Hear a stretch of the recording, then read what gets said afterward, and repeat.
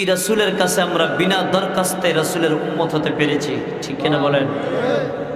আমরা কি কেউ রসুলের দরবারে মাউলার দরবারে দরখাস্ত করেছি যে আল্লাহ আপনার হাবিবের উম্মত আমাদেরকে বানান? বাবু কথা বলেন। আমরা কেউ বলি নাই, কিন্তু আল্লাহ আমাদেরকে বানিয়েছেন। ঠিক কিনা বলেন? অন্যান্য নবী ঈসা রহুল্লাহকে যখন প্রশ্ন করা হলো, ঈসা রহুল্লাহ তখন ডাক দিয়ে বলে, আল্লাহ আপনি যে আটখানা জান্নাত তৈরি করেছেন সাতখানা জাহান্নাম তৈরি করেছেন আপনার আটখানা জান্নাতের ভিতরে সর্বপ্রথম পৃথিবীর জমিনের কে ওই জান্নাতে প্রবেশ করবে আল্লাহ ডাক দিয়ে বলে ও ঈসা রহুল্লাহ ওই জান্নাতে সর্বপ্রথম আমার হাবিবুল্লাহ লাউলা কালামা খলাতুল আফলাক যাকে আমি চেষ্টা না করলে জগতের কিছুই চেষ্টা করতাম না ওই হাবিবুল্লাহ ওই জান্নাতে সর্বপ্রথম কদম দেবে। আমার নবী আপনার নবী ঠিক কিনা বলেন? আল্লাহ তারপরে কদম দিবে কে? ওই আমার হাবিবের অম্মত দ্বিতীয় স্থানের কদম দেবে। সোহানাটা বলেন। আল্লাহ তারপরে কদম দিবে কে? অন্যান্য আমার পয়গম্বর যারা। আল্লাহ তাহলে অন্যান্য পয়গম্বরের আগে কেন আখিরি আর উম্মতারে আগে আপনি দিয়েছেন জান্নাতে? কেনই বা আগে দেবেন? আল্লাহ বলে, তাদেরকে আমি সত্তরটা গুণ দিয়েছি। কয়টা? সোমান না। কয়টা গুণ দিয়েছে সত্তরটা গুণ দিয়েছি, যেটা আমি অন্য কোনো নবীর উম্মতের ভিতরে দেই না। আল্লাহ তাহলে ওই উম্মতগুলো আমার দান করে দেন না। আল্লাহ আমাকে উম্মতগুলো দান করে দেন। আল্লাহ বলে, না, ওইটা দেওয়া যাবে না। ওটার জন্য আমার হাবিব আরও সে কেঁদেছে এখনও কাঁদে, জমিনে কাঁদছে, এখনও কাঁদতে। সুবহান বলেন। তো আল্লাহ, আমি তো পয়গাম্বর, বাবা ছাড়া পৃথিবীতে আমাকে পাঠিয়েছেন। আমার কোনো বাবা নাই, আমার মা রয়েছে। আমাকে কিতাব দিয়েছেন রসুল্লাহ বানিয়েছেন। আমাকে রসুলের দায়িত্ব দিয়েছেন নবীত্তর দায়িত্ব দিয়েছেন, রসুলত্ব বানিয়েছেন, রুহুল্লাহ বানিয়েছেন। আল্লাহ, আপনার কাছে আমি আরাধনা করতেছি। আমাকে ঈসা, আমাকে রুহুল্লাহ বানানোর পরে, নবীত্ব বানানোর পরে, রসুলত্ব বানানোর পরে, কিতাব দেওয়ার পরে সব কিছু দিয়েছেন। আমি আপনার সাথে কথা বলেছি। কুঠি বছরের, হাজারো মাসের, হাজারো বছরের কবরের পাশে দিয়ে যদি ওই কবরের মানুষগুলোকে কম বিজনিল্লা বলে ডাক দেয় মানুষগুলো সোজা পথে আমার পিছনে হাঁটা শুরু করে। ও মাওলা আপনি কি আমাকে ওই নবীর সঙ্গে জান্নাতে দেবেন না? না, আগে আমার ওই হাবিব কদম দেবে, তারপরে। তাহলে আল্লাহ আমার একটা দরখাস্ত রয়েছে। ওই হুল্লাহ তোমার দরখাস্তটা কি? আল্লাহ তাহলে ওই নবীর উম্মুরটা আমার বানান না। ঈসা, যদি তুমি ওই নবীর উম্মত হতে চাও, তাহলে তোমাকে একটা কাজ করতে হবে। সেটা হচ্ছে কি, তোমার কালিমার দাওয়াতটা, আমি যে তোমাকে একটা কালিমা দিয়েছি লাহ ঈসা রুহুল্লাহ, কথা বলেন লাহ ঈসা রুহুল্লাহ, আপনি যে কত দামি। এবার শুনে নেন। তাহলে ওই কালিমাটা বাদ, আল্লাহ, আমি ওই কালিমার দাওয়াতও ওই নবীর আমলে বন্ধ করে দিলাম। সোহানুল্লাহ বলেন। ঈসা নবীকে আল্লাহ আসমানে তুলে নিলেন। জমিনে আসবে। আল্লাহ ঈসা রহুল্লা ঈসা রহুল্লার দোয়া কবুল করেছেন। আমার নবীর উম্মত হয়ে জমিনে কদম দেবে। আমার নবীর নিজের কালিমা বাদ দিয়ে আমার নবীর কালিমার ডাক দেবে। লাহা ইল্লাল্লাহু ঈসা রহুল্লাহ। আমার নবী ডাক দিয়ে বলো ঈসা রহুল্লাহ মাউলা খুশি হয়েছে। তোমাকে নবী থেকে তোমাকে আমি রসুলের উম্মত বানিয়েছে। নবী থেকে উম্মত হতে পেরেছে। সুবাহ আমার তো একটা কিছু তোমাকে দেওয়া লাগে। কি দিবেন? বলেন না। ঈসা রহুল্লাহ তোমাকে আমি একটা জিনিস দেবো সেটা কি? আমি রসুল্লাহ যেখানে থাকব পাশেই তোমাকে আমার সাথে সাথী করে রেখে দেবো। এই কারণে ঈসা রহুল্লার একটা রওজা সেখানে রয়েছে যেটা আমার নবী রওজা মোবারকের পাশে ঈসা রহুল্লার জায়গাটা রয়েছে যেখানে ঈসা রহুল্লাহ পৃথিবীর জমিনে আসবেন আমার নূরের নবীর কালিমার দাওয়াতের গুলামি করে এরপরে আমার নবীর উম্মত হয়ে আবার আল্লাহ রাসুলের কিনারে ঘুমাবেন এই কারণে আমরা সুক্রিয়াতান আবারও বলি আলহামদুলিল্লাহ। এবার প্রাণ ভরে, জবান চড়ে, হৃদয়ের সবটুকু ভালোবাসা উজাড় করে চিৎকার দিয়ে বলি, সাল্লাল্লাহু আলাইহি ওয়াসাল্লাম। ভালো যদি বাসতে হয়, নবীকে বাসো, আহা, মন যদি দিতে হয়, নবীকে দিও ফুলসে রাতের পরে যিনি দাঁড়িয়ে থাকবি দরদ পড়া উম্মতে পার করিবে। ফুলসরাতের পরে যিনি দাঁড়িয়ে থাকবে, দরদ পড়া উম্মতে পার করিবে। ওই নবীজির প্রেমে সবাই, ওই নবীজির প্রেমে সবাই পাগল হইও। যদি বাঁচতে হয়, নবীকে বাসো, হায় হায়, মন যদি দিতে হয়, নবীকে দিও তোমার কষ্ট যাত না জিনিস হইতে পারে না। বলেন, তোমার কষ্ট যাত না জিনিস হইতে পারে না। ওই নবীজির মহাব্বতে, আরে ওই নবীজির মহাব্বতে মিলাদে পড়িও। ভালো যদি বাসতে হয় নবীকে বাসো, আল্লাহুম্মা।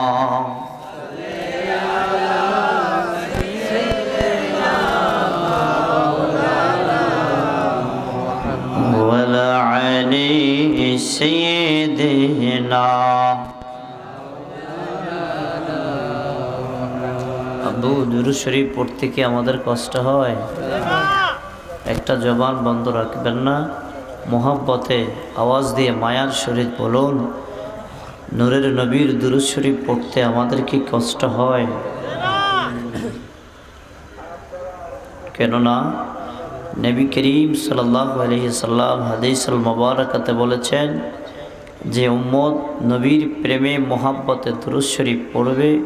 ওই উম্মতকে রেখে আল্লাহর নবী জান্নাতে কদম দেবেন না। আর একটু মোহাব্বতে সুবহান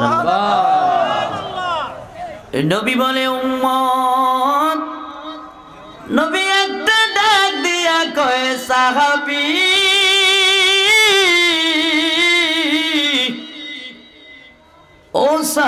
কারাম শুনে নাও।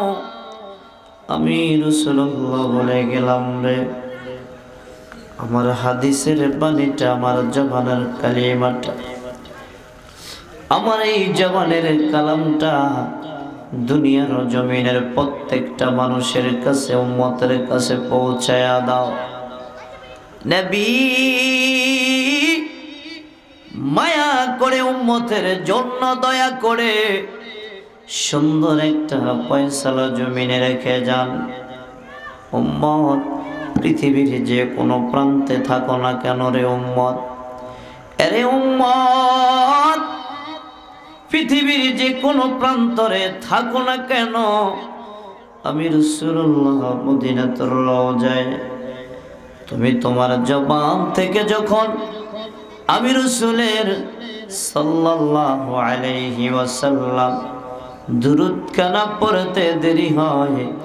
আমার মাওলার সাথে সাথে জমিনের ভিতরে দুইজন ফেরেশতা সৃষ্টি করতে দেরি থাকে না। এটা মোহাম্মতে কেন সুবহানাল্লাহ। আরে দুইজন ফেরেশতা আল্লাহ পাক নির্ধারিত করে দেয়, ওই জবানের একবার দরুদের জন্য দুইজন ফেরেশতা। আবার জবান থেকে বের হয়ে যায় আবার ফেরেশতা আল্লাহ নাজিল করে দেয়। এই আল্লাহর ফেরেশতারা মদিনা শরীফে ওই দুরুদের কালাম নিয়ে রসুলের রওজার কিনারে হাজির হয়ে যায়। এবারে নবী ডাক দিয়ে কয়, সাহাবি। নবী একটা ডাক দিয়া কয়, সাহাবি। যখন পেরেস তারা আমি রসুলের রোজার কিনারে আমি রসুল্লাহকে সালাম দেয় রে। আমি রসুল বুঝতে পারি আমার উম্মত, পৃথিবীর কোন উম্মত আমি রসুলের দরুদ শরীফ পড়ল। এই জবানটা যখন ফেরেস্তা আমাকে দেয়, নবী গো, অমুক জায়গার উম্মত আপনারা হাবিবে, আপনি হাবিবের মোহাব্বতে শরীফ পড়ল। এই কথাটা জবান থেকে যখন বের হয়ে যায়, আমি রসুল্লাহ এই দুরুদের হাদিয়াটা আমার আজলের ভিতরে রেখে দিই। দেখেন কত মোহাব্বত। কীভাবে জাহান্নাম থেকে আপনাকে বাঁচায় আমাকে? আরে সাহাবি, আমি রসুল্লাহ এটাকে আমার আজলে রেখে দেই। আমি রসুল্লাহ আমার কাছে রেখে দেই। যখন ফেরেস্তাকে বলি ফেরেস্তা ডাক দিয়ে বলে, হাবিব, বদরপুরের জমিনে, ওই মুন্সির হাটির জমিনে, মুলফারার জমিনে, রাজাপুরের জমিনের সোল্লার জমিনের বাসপালের জমিনের, ওই উম্মত পড়েছে, তার বাবার নাম, তার দাদার নাম যখন বলে, আমি রসুল্লাহ রোজা থেকে ডাক দিয়ে বলি ফেরেস্তা যখন আমার উম্মদ দুরুশ্বরী পড়ে, তার জাবানের দিকে আমি রসুল মায়ার দৃষ্টি দিয়ে তাকায়া থাকি। আরে আবু বকর নবীর প্রশ্ন করে, নবী, কত সময়ের জন্য রৌজার কিনারে দাঁড়ায়? কই আবু বকর, শুধু রৌজার কিনারে নাই, জমিনে সেজদা দিয়ে থাকে, যতক্ষণ আল্লাহ তারে ক্ষমা না করে এই জমিন থেকে ওই মাওলার ফেরেস্তা সেজদা উঠায় না। এবার নবীকে প্রশ্ন করে, নবী, আজুলির ভিতরে আপনি দুরুজ শরীফ রেখে দেন। নবী একটা ডাক দেয়া কয়, আবু বকর আমার আজুলের ভিতরে আমি রেখে দিই। হাসরের ময়দানে যখন উম্মত বিপদস্ত হয়ে যাবে আমি রসুল্লাহ সেজদায় পড়ে জমিনে কাঁদব। কাঁদতে কাঁদতে কাঁদতে কাঁদতে আল্লাহ আমারে ডাকে দেবে, হাবিব, আপনি আর কাঁদবেন না। আপনার সেজদাটা আপনি তোলেন। আমি রসুল্লাহ একটা দৌড় দিয়ে যাব রে। ওই মিজানের পাল্লায় উম্মত যখন জাহান্নামি হয়ে যাবে আমার আজল থেকে উম্মত কেড়ে আমি এই দুরুদের ফজিলতটা মাওলা তো বাড়াইয়া দেবে। উম্মতের যখন আমি নেকের পাল্লায় হাতটা স্পর্শ করব উম্মত নেকের পাল্লা বাড়ি হয়ে আমি রসুলের সঙ্গে জান্নাতে চলে যাবে। এটার কথার মূল হচ্ছে দুরুজ শরীফ আদায় করা ঠিক কিনা বলেন? এবারে শুনে একটু মোহাম্মতে বলি আল্লাহ আলা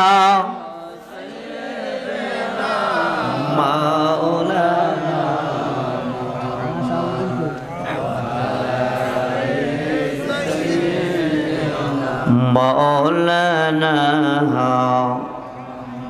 কি হবে তোর ধনে জনে? কি হবে তোর অভিমানে? থাকতে হবে গুরুস্থানে।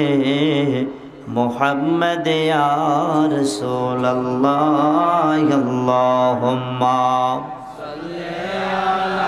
সৈয়দনা মোহাম্মদ মৌলানা জবানের মালিককে একটা সুরে কেউ বন্ধ রাখবেন না জবান। প্রত্যেকটা মানুষ আওয়াজ দিয়ে বলেন এই জবানের মালিক কে? আরেকটু জবান ছেড়ে বলি কে?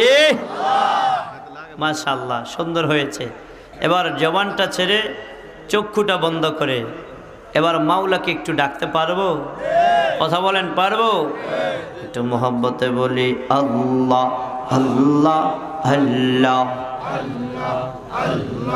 আল্লাহ আল্লাহ আল্লাহ আল্লাহ, আদম দিয়ে কুদরাতুল্লাহ, আদম দিয়ে কুদরাতুল্লাহ, এই ববেতে প্রকাশ হয়। কোরআন হাদিস খুলে দেখো। আদম তো সামান্য নয়। আল্লাহ আল্লাহ আল্লাহ আল্লাহ আল্লাহ আল্লাহ। আরেকটু আওয়াজ দেন একটু বিট দেন ইয়েতে বক্সে একটু বিট দেন।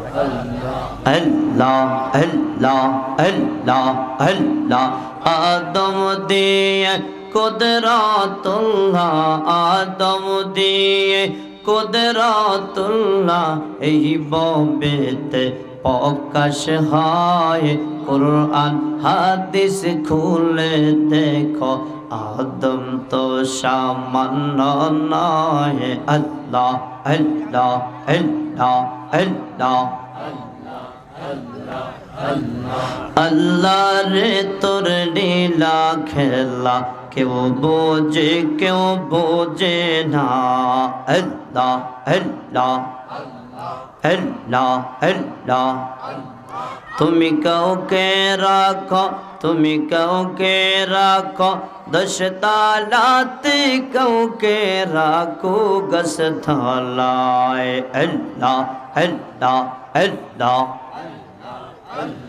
لا إله إلا الله محمد رسول الله صلى الله عليه وسلم. كندا يونا كندا يونا أمرنا نبيه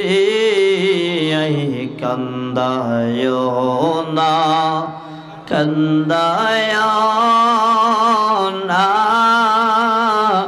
আমরা নবীর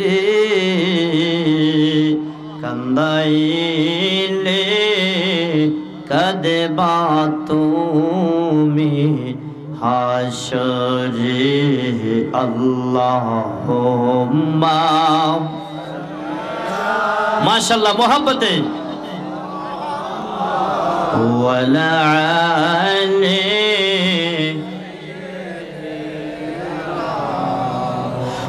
বন্ধু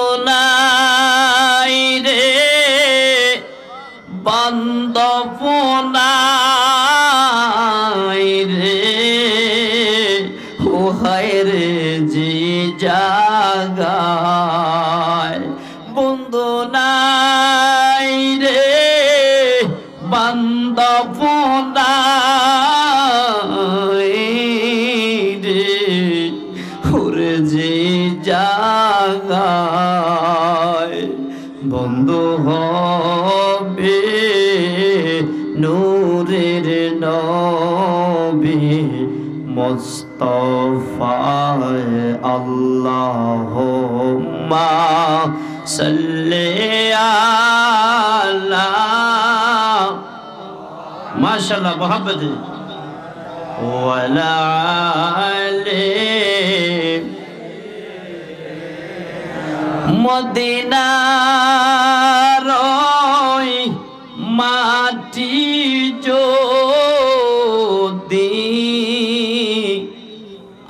আমি হই তামরে বলেন মদিনার মাটি যদি আমি হইতাম রে বুকে করে জরাই তাম নবীজি আল্লাহ মাশাল্লাহ মোহাম্মদে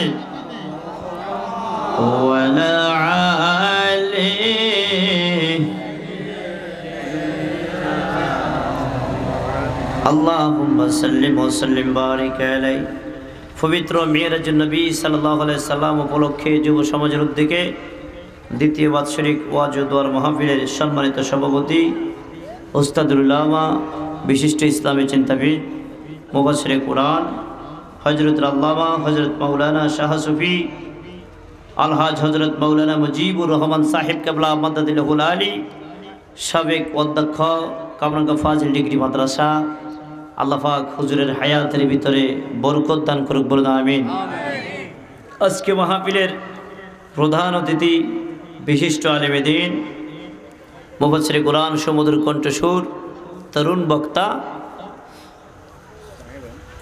আলোড়ন চিষ্টিকারী হজরত মৌলানা কারি শামীম হুসাইন রাজা আল কাদেরি ইমাম খতিব গাউসিয়া জামে মসজিদ হজরত পাড়া সিটি কর্পোরেশন কুমিল্লা, আজকে মাহফিলের বিশেষ বক্তা, বিশিষ্ট আলমিদিন মুফাসির কোরআন সমুদ্র কণ্ঠসুর হজরত মৌলানা হাফেজ ইকবাল হুসাইন আল কাদরি সাহেব কাবলা মাদাদিল্লাহুল আলী, খতিব পাতানিশ জামে মসজিদ হাজিগঞ্জ। আল্লাহ আমার এই ভাইদেরকে দিনের হাত হিসেবে কবুল করো জোরে কন্যা আমি। আজকে মহাবিলের আলোচনা করেছেন আমার অত্যন্ত মায়ার শ্রদ্ধাভাজন, বেআই বিশিষ্ট আলেমেদিন মুফসরে কোরআন সুমধুর কণ্ঠসুর হজরত মাওলানা আব্দুল হান্নান নিজামী সাহেব কাবলা মদাদুল্লাহুল আলী সহসুবার কাদরিয়া সিস্টিয়া হুসাইনিয়া দাখিল মাদ্রাসা বাবুরহাট আলোচনা করেছেন আমার সদ্যবাজন ভাই। এলাকার গৌরব, এই মসজিদের সম্মানিত খতিব সমুদ্র কণ্ঠসুর হজরত মৌলানা ইব্রাহিম খলিল সাহেব কাবলা মদাদুল্লাহুল আলী, খতিব, বদরপুর জামে মসজিদ এবং সংগীত পরিবেশনায় রয়েছেন ভাই মোহাম্মদ রবিউল ইসলাম। ভাই মোহাম্মদ আনিসুর রহমান সহকারে স্টেজে বসা রয়েছেন ওলামাই কেরাম, হাফেজানে কেরাম, ফ্যান্ডেলে বসে রয়েছেন মুরুকবেন এজাম সদ্যবাজন দূর দূরান্ত থেকে আগত আমার বাবারা, পর্দানিসি আমার মা বোনেরা, প্রত্যেকের প্রতি আমার অন্তর অন্তঃস্থল থেকে সালাম। আসসালামু আলাইকুম রহমতুল্লাহি ওবরাকাতু, আজ্জা ওয়াজাল্লাহ মাওলার দরবারে শুক্রিয়া আদায় করি যে আল্লাহ আমাদেরকে আজ এমন একটি সুন্দর বেহেস্তের বাগানে আসার বসার তৌফিক দিয়েছেন হাজারো কাজের ব্যস্ততার মাঝ থেকে। করোনা মহামারী থেকে এই পর্যন্ত হাজারো কোটি মানুষ চলে গেছে। তার মাঝে আল্লাহ পাক আমাকে, আপনাকে এখনও সুস্থ রেখেছে। আলহামদুলিল্লাহ বলেন। এই কারণে আমার উল্লাহর দরবারে সর্বপ্রথম শুক্রিয়া আদায় করি, চিৎকার মেরে হৃদয়ের সবটুকু ভালোবাসা উজাড় করে দিয়ে বলি, আলহামদুলিল্লাহ। লক্ষ কোটি অগণিত অগণিত দুরুদ সালাম পেশ করি। সেই মানবতার মুক্তির দিশারি মুক্তির পথের কান্ডারি নবী নুরু নবী হায়াতুন নবী জিন্দা নবী সাপায়াতের তরানে বাচ্চানে ওয়াইলে নবী লাউলাকা লামা খলাকুল আফলাক। যেই নবীর আল্লাহ চেষ্টা না করলে জগতের কিছুই মাউলা আমার চেষ্টা করতেন না। আপনাদের চাইতে যারা আলোচনা করবে আজকে এনারা অনেকটাই অসুস্থতার ভান বা অসুস্থই রয়েছে কেন জানেন? এখানে যারা আজকে আলোচনা করতেছে, ইকবাল হোসেন আল কাদেরি শামীম রাজা এদের প্রতিদিনের প্রোগ্রাম থাকে, ঠিক না? তাই আপনাদেরকে যখন কথা বলবে, আপনারা বললেন কারণ আপনাদের চাইতে আমাদের ক্লান্তটা বেশি লাগে। যেহেতু প্রতিটা রাত্রেই দিনের খেদমতের জন্য বের হতে হয়, এই কারণে আমরা মাওলার দরবারে আবারও শুক্রিয়া আদায় করি, আলহামদুলিল্লাহ। রসুলের কাছে আমরা বিনা দরখাস্তে রসুলের উন্মত হতে পেরেছি, ঠিক কিনা বলেন? আমরা কি কেউ রসুলের দরবারে মাউলার দরবারে দরখাস্ত করেছি যে আল্লাহ আপনার হাবিবের উম্মত আমাদেরকে বানান? বাবু কথা বলেন। আমরা কেউ বলি নাই, কিন্তু আল্লাহ আমাদেরকে বানিয়েছেন। ঠিক কিনা বলেন? অন্যান্য নবী ঈসা রহুল্লাহকে যখন প্রশ্ন করা হলো, ঈসা রহুল্লাহ তখন ডাক দিয়ে বলে, আল্লাহ, আপনি যে আটখানা জান্নাত তৈরি করেছেন, সাতখানা জাহান্নাম তৈরি করেছেন, আপনার আটখানা জান্নাতের ভিতরে সর্বপ্রথম পৃথিবীর জমিনের কে ওই জান্নাতে প্রবেশ করবে? আল্লাহ ডাক দিয়ে বলে ও ঈসা রহুল্লাহ ওই জান্নাতে সর্বপ্রথম আমার হাবিবুল্লাহ লাউলা কালামা খলাক্তুল আফলাক যাকে আমি চেষ্টা না করলে জগতের কিছুই চেষ্টা করতাম না ওই হাবিবুল্লাহ ওই জান্নাতে সর্বপ্রথম কদম দেবে। আমার নবী আপনার নবী ঠিক কিনা বলেন? আল্লাহ তারপরে কদম দিবে কে? কয় আমার হাবিবের অম্মত দ্বিতীয় স্থানের কদম দেবে। সোহানাল্লাহ বলেন। আল্লাহ তারপরে কদম দিবে কে? অন্যান্য আমার পয়গম্বর যারা আল্লাহ তাহলে অন্যান্য পয়গম্বরের আগে কেন আখিরি জামানার উম্মতের আগে আপনি দিয়েছেন জান্নাতে? কেনই বা আগে দেবেন? আল্লাহ বলে, তাদেরকে আমি সত্তরটা গুণ দিয়েছি। কয়টা? কয়টা গুণ দিয়েছে? সত্তরটা গুণ দিয়েছি, যেটা আমি অন্য কোন নবীর উম্মতের ভিতরে দেই না। আল্লাহ তাহলে ওই উম্মতগুলো আমার দান করিয়া দেন না। আল্লাহ আমাকে উম্মতগুলো দান করে দেন। আল্লাহ বলে, না, ওইটা দেওয়া যাবে না। ওটার জন্য আমার হাবিব আরও সে খেতেছে এখনও কাঁদে, জমিনে কাঁদছে এখনও কাঁদতে। সুবহানাল্লাহ বলেন। তো আল্লাহ, আমি তো পয়গাম্বর, বাবা ছাড়া পৃথিবীতে আমাকে পাঠিয়েছেন। আমার কোনো বাবা নাই, আমার মা রয়েছে। আমাকে কিতাব দিয়েছেন রসুল্লাহ বানিয়েছেন। আমাকে রসুলের দায়িত্ব দিয়েছেন, নবীত্বর দায়িত্ব দিয়েছেন, রসুলত্ব বানিয়েছেন, রুহুল্লাহ বানিয়েছেন। আল্লাহ, আপনার কাছে আমি আরাধনা করতেছি। আমাকে ঈসা, আমাকে রুহুল্লাহ বানানোর পরে, নবীত্ব বানানোর পরে, রসুলত্ব বানানোর পরে, কিতাব দেওয়ার পরে সব কিছু দিয়েছেন। আমি আপনার সাথে কথা বলেছি। কুঠি বছরের, হাজারো মাসের, হাজারো বছরের কবরের পাশে দিয়ে যদি ওই কবরের মানুষগুলোকে কম বিজনিল্লা বলে ডাক দেয় মানুষগুলো সোজা পথে আমার পিছনে হেঁটা শুরু করে। ও মাওলা আপনি কি আমাকে ওই নবীর সঙ্গে জান্নাতে দেবেন না? হয় না, আগে আমার ওই হাবিব কদম দেবে, তারপরে। তাহলে আল্লাহ আমার একটা দরখাস্ত রয়েছে। ওই স্যার হুল্লাহ তোমার দরখাস্তটা কি? আল্লাহ, তাহলে ওই নবীর উম্মরটা আমার বানান না। ঈসা, যদি তুমি ওই নবীর উম্মত হতে চাও, তাহলে তোমাকে একটা কাজ করতে হবে? সেটা হচ্ছে কি, তোমার কালিমার দাওয়াতটা, আমি যে তোমাকে একটা কালিমা দিয়েছি কথা বলেন রুহুল্লাহ। আপনি যে কত দামি। এবার শুনে নেন। তাহলে ওই কালিমাটা বাদ। আল্লাহ, আমি ওই কালিমার দাওয়াত ওই নবীর আমলে বন্ধ করে দিলাম। সোহানাল্লাহ বলেন। ঈসা নবীকে আল্লাহ আসমানে তুলে নিলেন। জমিনে আসবে, আল্লাহ ঈসা রহুল্লা ঈসা রহুল্লার দোয়া কবুল করেছেন। আমার নবীর উম্মত হয়ে জমিনে কদম দেবে, আমার নবীর নিজের কালিমা বাদ দিয়ে আমার নবীর কালিমার ডাক দেবে। লা ইলাহা ইল্লাল্লাহু, ঈসা রহুল্লাহ। আমার নবী ডাক দিয়ে বলো, "ও ঈসা রহুল্লাহ, মাওলা খুশি হয়েছে। তোমাকে নবী থেকে তোমাকে আমি রসুলের উম্মত বানিয়েছে। নবী থেকে উম্মত হতে পেরেছে। কোন আমার তো একটা কিছু তোমাকে দেওয়া লাগে। কিন্তু না। কি দিবেন? বলেন না। ঈসা রহুল্লাহ তোমাকে আমি একটা জিনিস দেব সেটা কি? আমি রসুল্লাহ যেখানে থাকব পাশেই তোমাকে আমার সাথে সাথী করে রেখে দেব। এই কারণে ঈসা রহুল্লার একটা রওজা সেখানে রয়েছে যেটা আমার নবীর রওজা মোবারকের পাশে ঈসা রহুল্লার জায়গাটা রয়েছে যেখানে ঈসা রহুল্লাহ পৃথিবীর জমিনে আসবেন আমার নূরের নবীর কালিমার দাওয়াতের গুলামি করে এরপরে আমার নবীর উম্মত হয়ে আবার আল্লাহ রাসুলের কিনারে ঘুমাবেন। সুবহানাল্লাহ। এই কারণে আমরা সুক্রিয়াতান আবারও বলি, আলহামদুলিল্লাহ। এবার প্রাণ ভরে, জবান চড়ে, হৃদয়ের সবটুকু ভালোবাসা উজাড় করে, চিৎকার দিয়ে বলি, সাল্লাল্লাহু আলাইহি ওয়াসাল্লাম। আমাকে একটা বিষয় দেওয়া হয়েছে, হালাল এবং হারাম। আব্বু কথা বলেন, হালাল এবং হারাম। ইনশাল্লাহ চেষ্টা করব আমার গৌসুবাকের খাতিলে আমার নুরের নবীর কদমের সৎকায় কদম মোবারকের সৎকায় সময়ের দিকে লক্ষ্য করে যতটুকু আলোচনা দিয়েছে চেষ্টা করুক বোঝানোর জন্য। আল্লাহ তৌফিক দান করুক। শকর বলি আমি সাদা পাতা এটা কি হালাল না হারাম এটা সবাই বাবা হ্যাঁ? সমতুল্য। আসেন আল্লাহ পাক কোরআনুল কারিমে চমৎকারভাবে তুলে ধরেছে। আমি একেবারেই ভাঙ্গা কথা বলব। কথা বলছেন আপনারা একটু বুঝে নেবেন। যেহেতু হালাল এবং হারাম দুইটা দিকের আলোচনা দীর্ঘ সময়ের দরকার।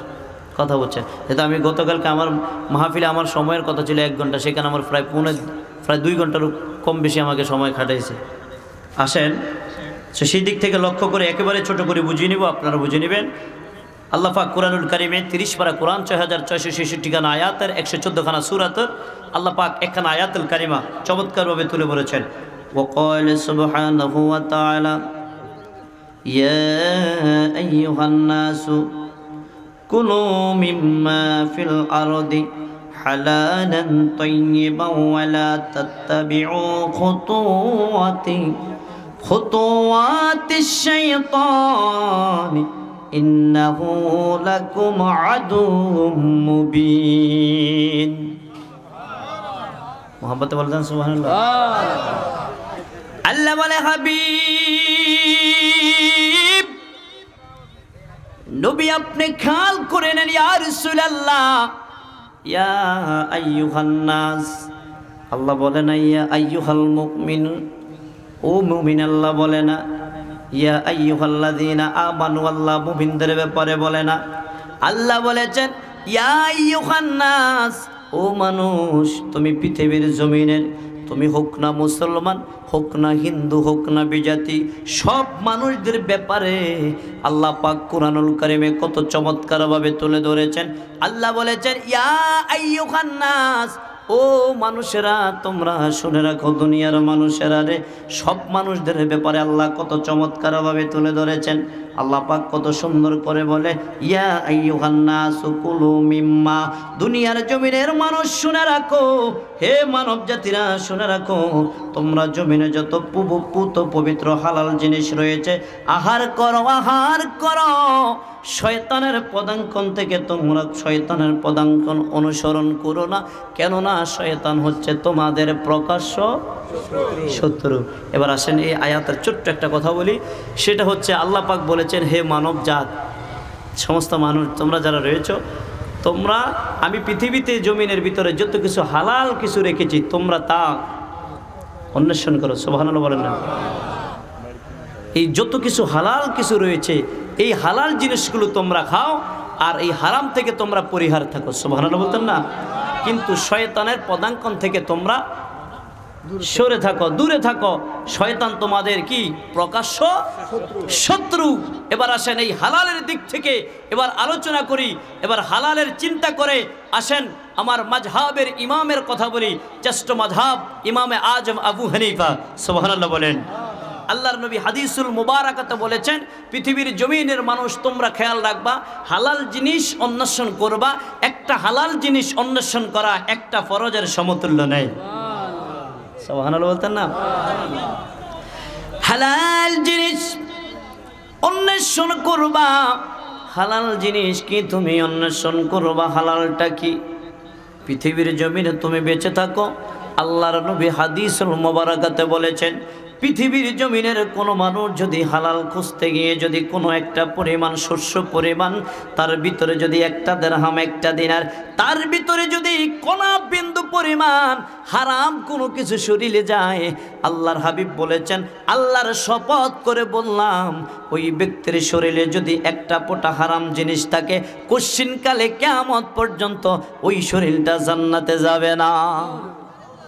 জোরে কেন নাউজবিল্লা তাহলে হালালের ব্যাপারে বলছেন কে? আল্লাহ কথা বলেন কে?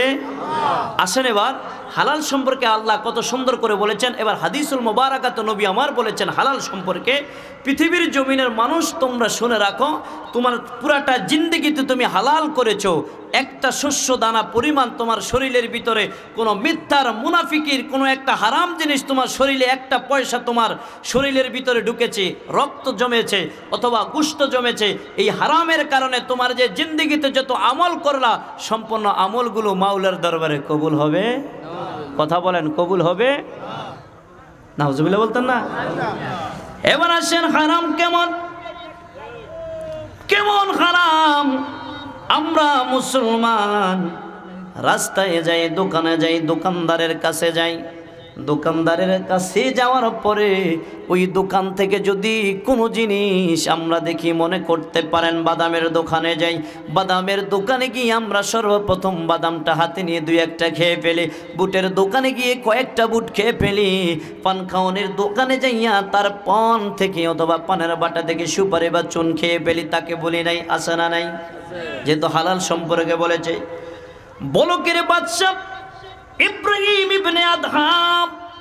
তিনি ছিলেন ইরাকের জমিনের আল্লাহর একজন বড় কুতুব ছিলেন এই আল্লাহর অলি, যেনার নাম ছিল বাদশাহ ইব্রাহিম ইবনে আদহাম।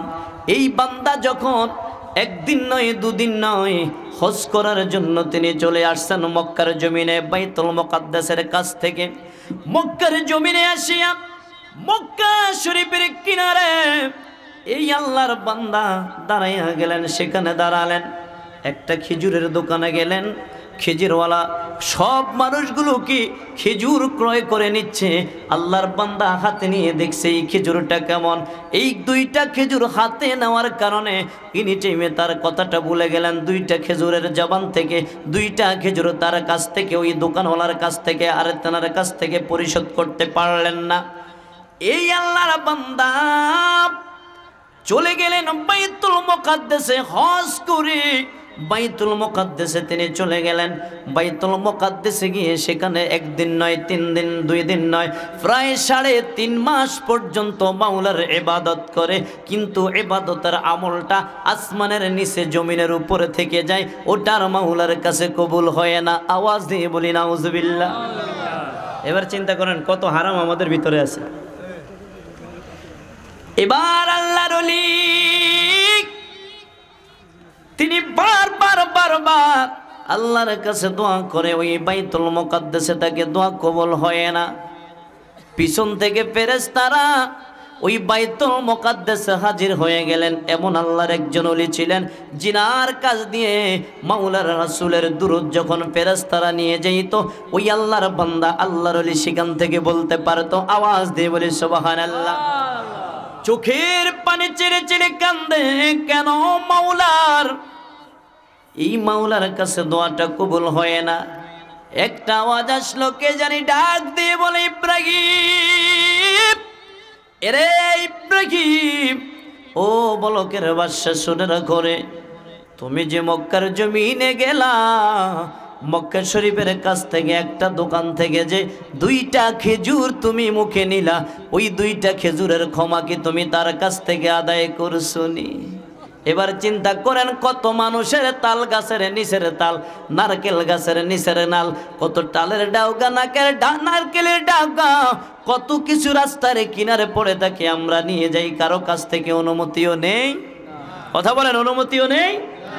এবার ডাক দিয়ে বলে কে জানি আওয়াজ দিয়ে কতটা কানে পৌঁছে দেয়? হাঁটতে হাঁটতে প্রায় আড়াই মাস পর্যন্ত হাঁটার পরে চলে আসছেন খানে কাবার নিকটে। খানে কাবার নিকটের কাছে আসিয়া ওই দোকানে খেজুরের দোকানে যাইয়া তিনি দাঁড়াইয়া রইলেন। কিন্তু খেজুরের দোকান দেখা যায়, কিন্তু দেখা যায় না, ওই আল্লাহর বান্দাকে দেখা যায় না। আরেকটা ছেলেকে দেখা যায় নৌজোয়ান একটা কিষান ছেলেকে দেখা যায়।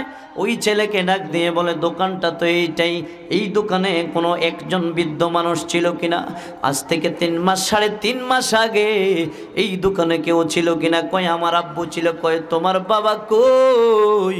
কয়, আমার বাবা তো পৃথিবী থেকে চলে গেল। ইন্না লিল্লাহি ওয়া ইন্না ইলাইহি রাজিউন। এবার ডাক দিয়ে বলে ভাই, ও ভাই আমার, এই দোকানে দাঁড়াইয়া খানে কাবায়, যখন আমি আসলাম খানে কাবায় আসার পরে, আমি এখানে যখন দাঁড়াইলাম, এই দোকান থেকে আমি দুইটা খেজুর খাইলাম রে। আমি দোকানওয়ালার কাছ থেকে বিদায় নিতে পারি নাই। ওই দোকানওয়ালা তো মৃত্যুবরণ করেছে, আমি তো জানলাম না। সব ঘটনা খুলে বলার পরে ডাক দিয়ে বললেন, ভাই ও আল্লাহর বান্দা, আল্লাহর অলি শুনে নাও, আমার বাবা মৃত্যুর পরে আমার বাবার এই দোকানটাকে, আমার বাবার সম্পদ আমরা দুটা ভাই ছিলাম। একটা ভাই এখান থেকে প্রায় সাড়ে তিনশো মাইল উত্তরের ভিতরে, এখান থেকে সাড়ে তিনশো মাইল দূরত্ব, ওই জায়গার ভিতরে এই খেজুরের ব্যবসা করে। আমি এখানে বাবার দোকানের খেজুরের ব্যবসা করি। আমার বাবা মৃত্যুর পরে আমাদের দুটা ভাই সমান সমান করে বাবার সম্পদ বন্টন করে নিয়েছেন। দুটা খেজুর থাকলে তাই সে এক মাই একটা পেয়েছেন, আমি একটা পেয়েছি। পাইরে আমি ক্ষমা করব, কিন্তু আমার ভাইয়ের ব্যাপারে তো আমি জানি না। তুমি আমার ভাইয়ের কাছে চলে যাও। ভাইয়ের কাছে সাড়ে তিনশো মাইল অতিক্রম করে হাঁটতে হাঁটতে ভাইয়ের কাছে যায়, বলে, ভাই রে, তোমার বাবার দোকান থেকে আমি দুইটা খেজুর খেয়েছিলাম। তোমার বাবার কাছে আর বলতে খেয়াল ছিল না। এই কারণে মাওলা আমার দোয়া কবুল করে নাই। ও ভাই, তুমি আমারে ক্ষমা করো। ক্ষমা করার পরে যখন যাইতে যাইতে আবার আড়াই মাস পাটার পরে বাইতুল মোকাদ্দেসের ভিতরে যখন আবার নামাজ আদায় করিয়া সেজদায় পড়ে পড়ে কান্দে, আল্লাহর ফেরেশতারা ওই কই লোকটার? আল্লাহর অলির পিছনে দাঁড়ায়া মুস্কি হাসে দিয়া কয়, এই লোকটার প্রতি আমার মাওলা খুশি হয়ে গিয়েছে। এই লোকটার প্রতি সব মানুষ খুশি হয়ে গিয়েছে। এই লোকটার প্রতি আল্লাহর ফেরেস্তারা খুশি হয়ে গেছে। জান্নাতে যদি মানুষ দেখতে চাও, এই লোকটারে দেখতে চাও। নারে তাকবীর নারে রিসালাত, বিশেষ অতিথির আগমন, মাহফিলের পক্ষ থেকে সম্মানিত উপস্থিতি।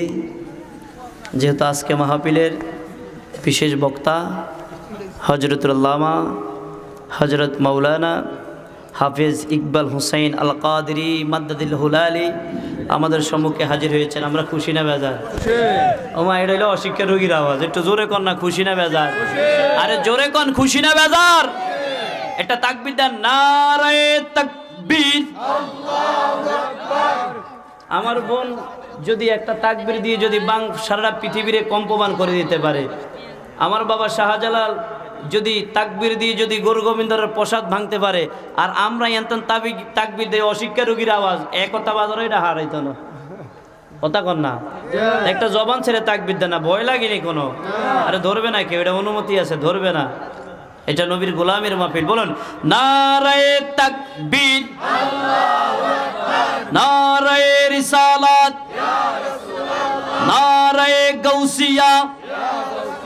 আহলে জামাত। হযরত মাওলানা হাফেজ ইকবাল হোসেন আল সাহেবের আগমন। পক্ষ থেকে। উপস্থিতি, একটা কথা বলি, আমাদের আলেম বলবেন আর খাজ বলবেন, নাম বলবেন। হাজ্জাজ ইবনে ইউসুফ, তিনি কি করেছেন? তার অনেক অত্যাচারিত এলাকার ভিতরে অনেক অত্যাচার করেছেন। তখন তার মানুষগুলো বলে যে নেতা, আপনি যে মানুষগুলোকে এত অত্যাচার করেন, তবে একটা সমস্যা আছে আপনার। কি সমস্যা? কয়েরা যদি বদোয়া দেয় মাউলার দরবারে একেবারে আপনি ধ্বংস হয়ে যাবেন। কয়েরা বদোয়া দিলে কাজ হবে না। কেন জানো? কয়, কেন? কয়, প্রতি মাসে একবার আমি দাওয়াত দিয়ে এদেরকে খাওয়াই। এই যে হালাল হারামের বিষয়টা, প্রতি মাসে একবার, যত মোল্লা মুন্সি আছে সবাই আমি একবার প্রতি মাসে দাওয়াত দিই। আমি একটু শেষ। যে প্রতি মাসে একবার দাওয়াত দিয়ে খাওয়াই, যার কারণে আমি যে দাওয়াতটা দিই তাদেরকে খাওয়াই, রাত্রিবেলায় আমি মানুষের ওঁট দুম্বাগুলো চুরি করি, দিনের বেলায় তাদেরকে কাবাব বাবা, কাবাব বানাই, ভালো ভালো, দেখা যায় বিভিন্ন আইটেম তরকারি তৈরি করে খাওয়াই। তো এই আলেম যদি সারা জীবন দোয়া করে, মগার দোয়া কবল হইতো না। কারণ আমার হারাম জিনিস খাই, দোয়া করলে কি দোয়া কবল হইব? কথা কর না, দোয়া কবল হইব? অবশেষে কি করলেন? একটা লোক ওনার দাওয়াতে যায় নাই। একটা লোক দাওয়াত ছিল বাচ্ছিল ওই রাজ্যের ভিতরে। তখন হাজাজ ইবনে ইউসুফ কি করেছেন? ওই লোকটার কাছে দাওয়াত পাঠিয়েছেন। তিনি ইউসুফের দাওয়াতে যায় নাই। কেন? তিনি জানে এই লোকটা মানুষকে অত্যাচার করে। তিনি অত্যাচারিত হয়ে গেছেন তার কাছে। ইউসুফ হাজ্জাজ ইবনে ইউসুফ এই ব্যক্তির উপরে যখন অত্যাচার করা শুরু করে দিয়েছে, তিনি দুটা হাত, শুধু মাওলার দরবারে এই দুটা কিতাবে আসে, দুটা শাহাদাত আঙ্গুল তুলেছিলেন। দ্বিতীয়, তৃতীয় আঙ্গুল যখন তোলা শুরু করে দিয়েছেন, শুধু মাওলাকে ডাক দিয়েছেন, আল্লাহ তোমার গজব তার উপরে দিয়ে দাও। আর দুনিয়ার মানুষ সহ্য করতে পারে না, রাজ্যের মানুষ সহ্য করতে পারে না।